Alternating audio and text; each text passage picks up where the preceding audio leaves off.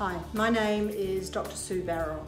Uh, I retired about a year and a half ago after a long career at the Bureau of Meteorology and my final role at the Bureau was as Chief Scientist. Back in 1981 we used to hand draw our charts. The observations were plotted by hand, not a lot of them, and we would draw isobars to, to do our analysis. Now, with the power of mathematics driving uh, our supercomputers, integrating the huge amounts of data that we now have access to from satellites and from ships and boats and planes all over the world, our forecasts um, and the products that we deliver are much more powerful. They enable people to make decisions not just a few hours ahead, but days ahead with confidence, real confidence.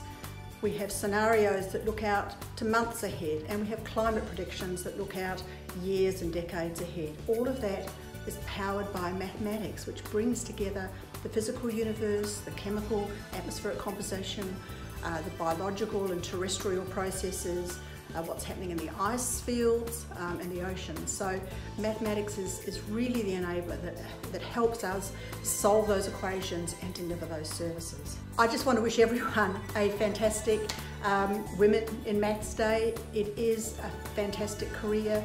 Um, you, anyone can do it. Mathematics is something uh, that, that is, is a great opportunity for, for uh, you can start and go in so many different directions. Um, it can take you really right through a wonderful life. Thank you.